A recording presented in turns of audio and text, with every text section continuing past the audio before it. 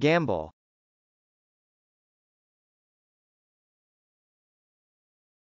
Gamble.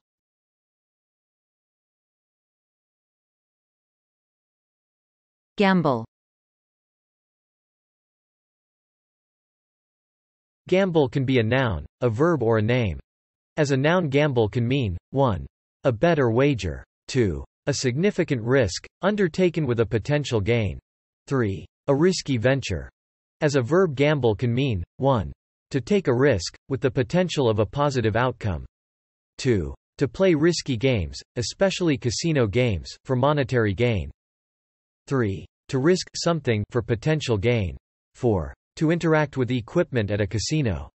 As a name gamble can mean, surname. According to some calculations done by Procter & Gamble,